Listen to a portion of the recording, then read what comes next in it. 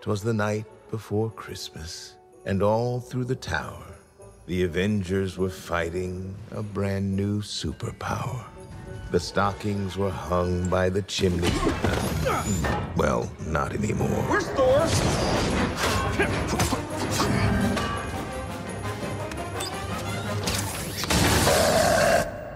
Uh, right. You're probably wondering who this guy is. Perhaps I should start a bit further back.